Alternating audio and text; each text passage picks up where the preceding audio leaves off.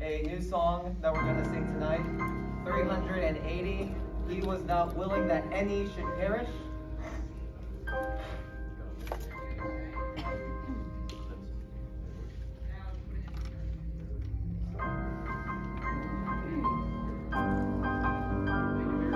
If you're able to, please stand and we'll sing 380. He was not willing that any should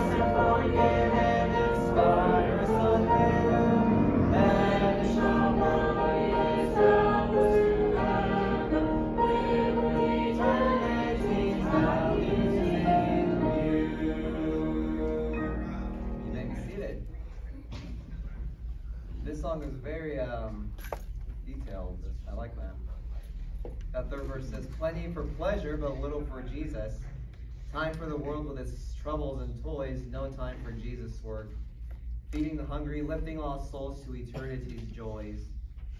Hark how they call us, bring us your Savior, oh tell us of him. We are so weary, so heavily laden, and with long weeping our eyes have grown dim. Song. Very, um, I like that song.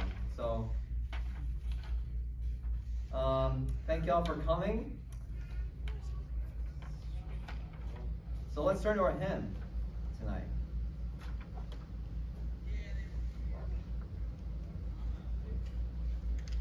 number 23.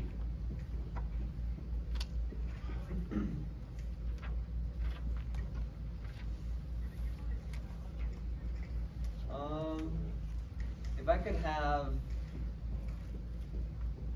the two of you sit next to Alex Larson. I just want more press so I can. It's it's an amp thing, so the sound is amplified a certain way if there's a cluster instead of it being spread out.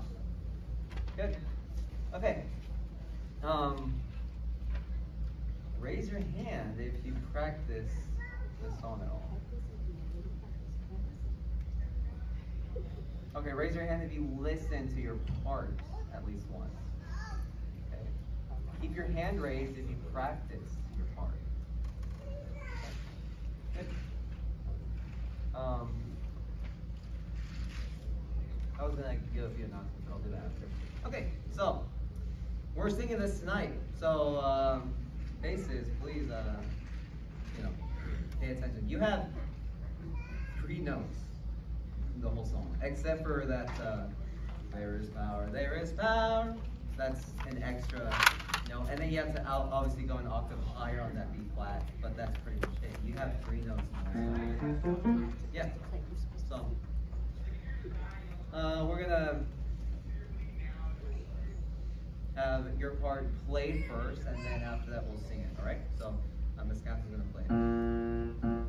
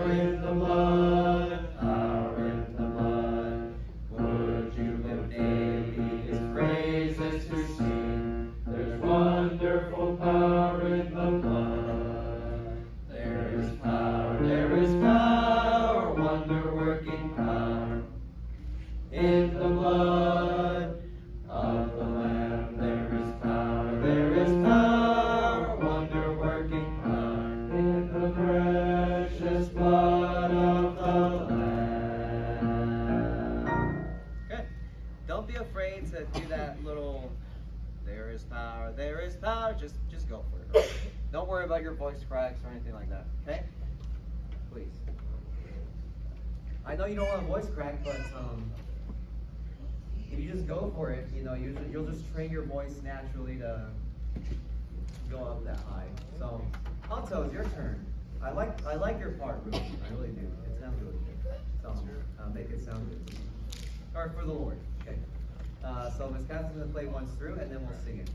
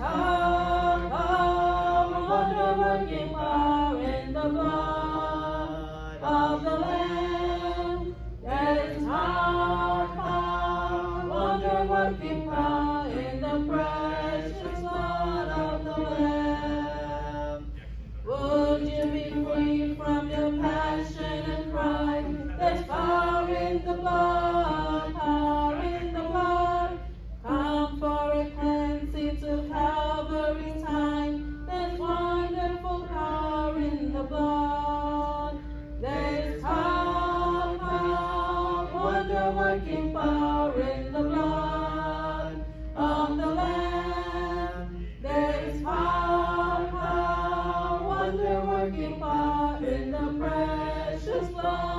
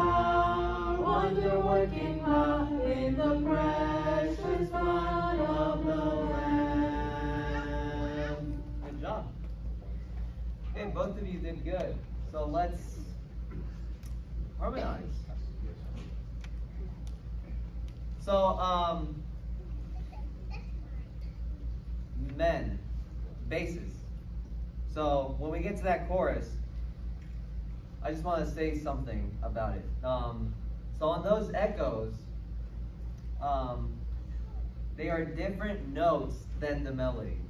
So I don't want you to, I don't want you to mix those two up because the bass note is different than what the melody ends on. So I don't want you to echo the melody. I want you to echo the F. Because if you look at the melody on, there is power, power, wonder-working power in the blood. Blood ends on on a C. Okay? But your bass note uh, is an F. Yeah. So, Miss Catherine, can you play the C? So, see, you notice how it's different? So, is everybody paying attention? So, it ends on C, but it starts on F. So, you're not doing in the blood, in the blood. You're doing in the blood. In the blood is different than in the blood, right? Does, that make sense? So you're playing, you're singing a different note. And then also for the of the lamb. See? So it, they're they're two different notes. So don't echo the melody. Echo your part. You have a part. Okay? Yeah. Does that make sense? Yeah. Okay. And then altos, you. I don't think you struggled. So. Um, I think I think when you're starting to sing bass and there's echoes like that, you kind of tend to just echo what the melody ends on, but that's not what you're supposed to do. Okay? You're supposed to just know your part and then sing your part. Okay? So. Also, if you are sitting around a bass that you know knows how to sing bass, pay attention to what they're singing because that way you'll just copy them and you'll just naturally get used to singing bass. And then same thing for altos. If you sit around anyone who's an alto who sings the alto line, pay attention to whoever that person is. Not just in this class, but in church when we're singing songs. Pay attention. If they sit right behind you, you know that's even that's even better.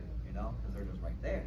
Okay, so that's why that's what that's why in choirs you have. Um, I remember in, in my uh, old church choir how the ones at the very top of the row, the ones at the top row were the ones that knew how to sing the alto line, and then the people that were under them were not really good at singing the alto line. They didn't know how to read music or stuff like that, so they just copied the person who was above them.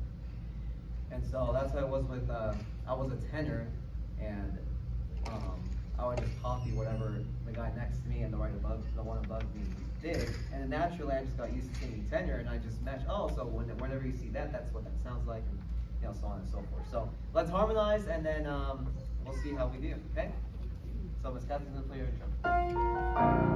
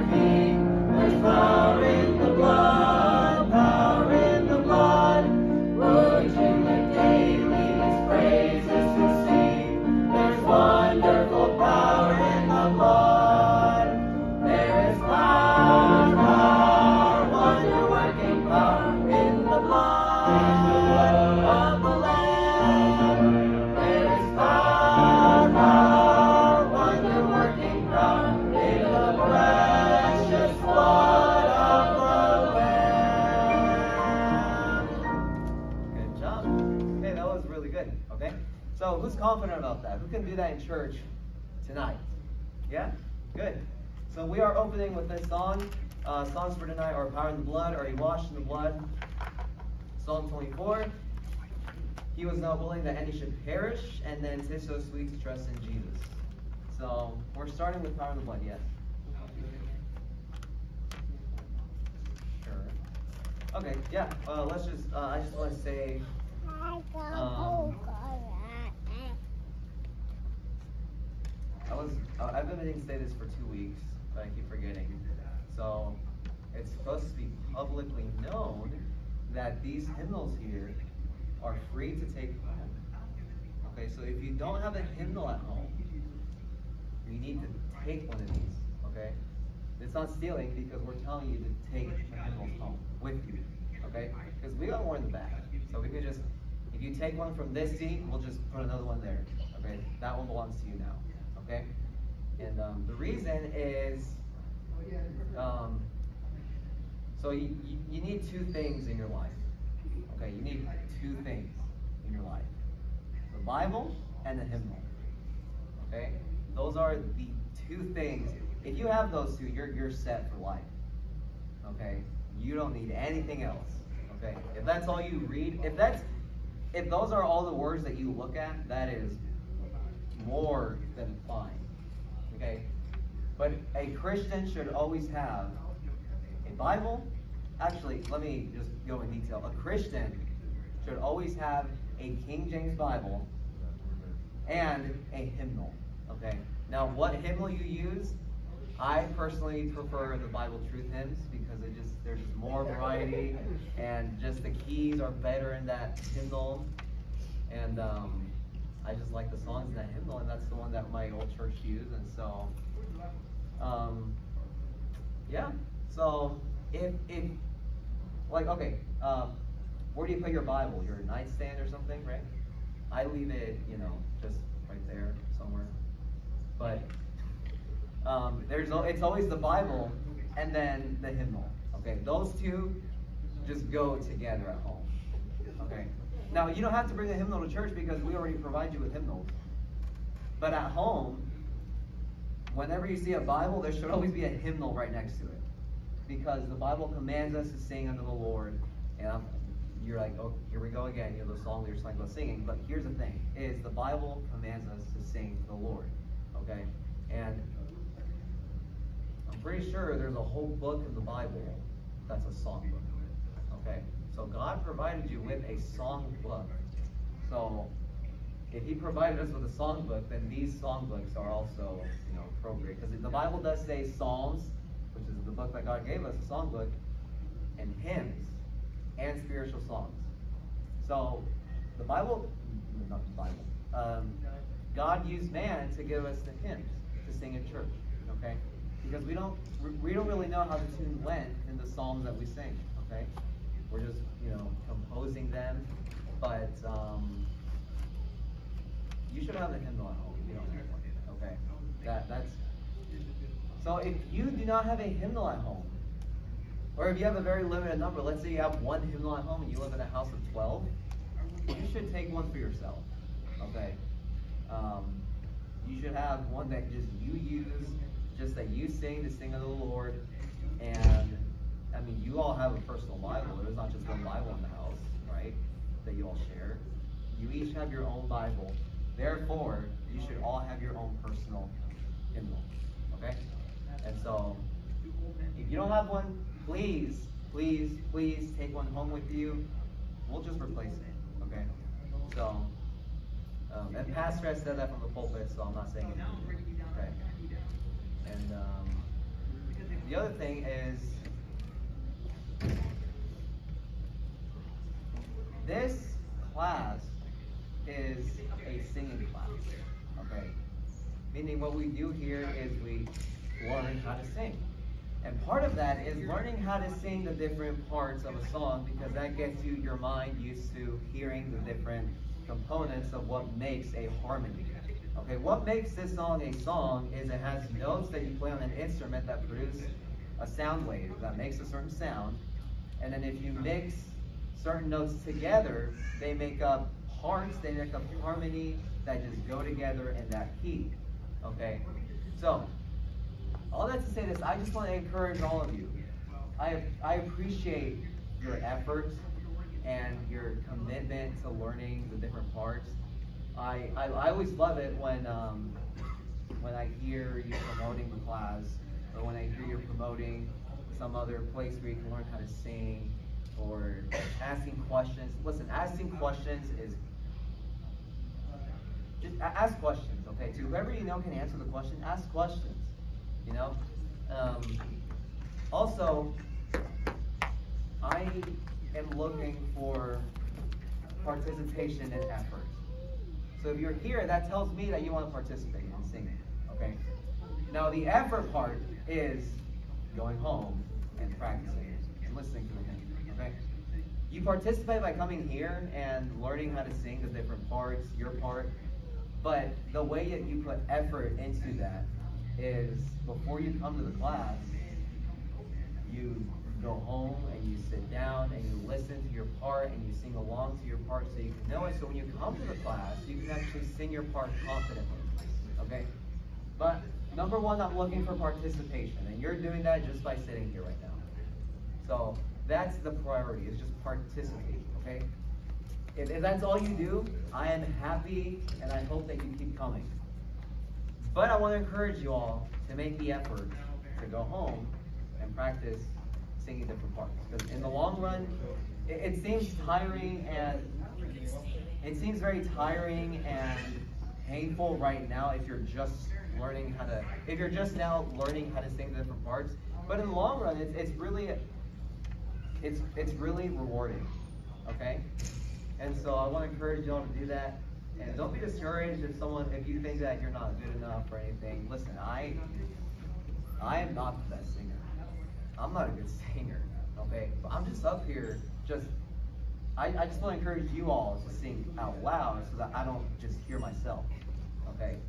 You all, as the, as the church, need to blend together and lift up your voices and be loud and sing confidently. Okay, don't don't worry about sounding weird or um, listen. Just just sing as you would you as you would sing in heaven. That's all I'm asking. Okay, just so just participate. Okay, that's just what I'm asking. Okay, and then put in the effort to learn the new songs. So for next week, what we're gonna do, if you look on the song list, um, I gave you all song lists, physical song lists, but um, I know that paper can get lost. That's why everything's electronic nowadays. So if you go on kjvbiblemusic.com, you can actually see the song list on there. You can go on the three little lines and click song list and click on September and then go down to the 9:26 p.m. service. We're singing Joy Unspeakable. He lives. Most likely, where the soul never dies. We might, might not. If we do, then we'll go over in the class, obviously. And then, oh, bring your loved ones. So, the first three hymns that are out of the hymnal, um, those are in the key of B, of B flat. Okay? So, guys, can we lower it down, please? So those first three songs out of the hymnal are in the key of B flat. Okay? So you can learn how to sing your different part. This this song right here is in the key of B flat. So basses for you, it's really simple. Okay? Altos, I know can get difficult, but I will send your parts to all of the songs this week so that you can go home and practice. And then basses, same for you. Um, I think I already did that. Did I do that? Yeah, I did. So you should already have it. If you don't, then please, uh, I'll just send them tomorrow. And then um, that's all I have for tonight. So thank you all for coming and participating. We did not get to sing Time with Blood a first uh, another time, but we will in a few minutes. And um, just be confident and then uh, sing your part. Don't be shy and be confident on those echoes. Don't hold back. And I encourage you for the rest of the songs to just take the hymn book and just sing out and participate in the singing. Don't worry about what you sound like. You all sound perfectly fine Okay? You all sound even better to the Lord when you're singing from the heart. Right? Making melody in your heart to the Lord. It doesn't say from the mouth because a lot of us can't make a melody out of the mouth. We don't know how to sing. So that's why it says make melody in your heart to the Lord. If you're just expressing that out of joy and the first two songs are about the blood. The blood is what saved us. So think about your salvation when you're singing those two songs.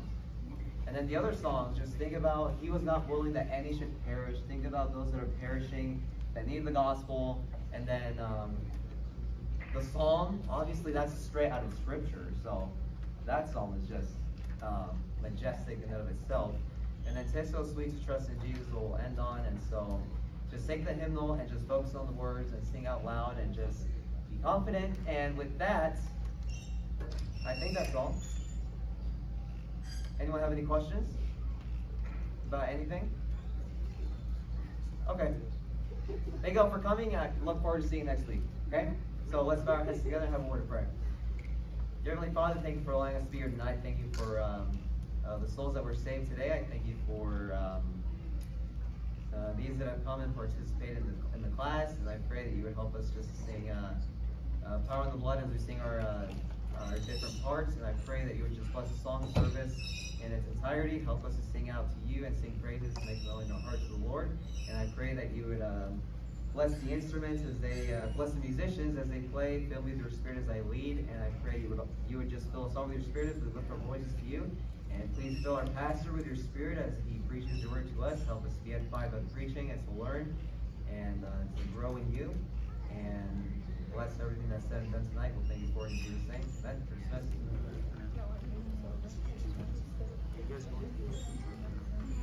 Yes.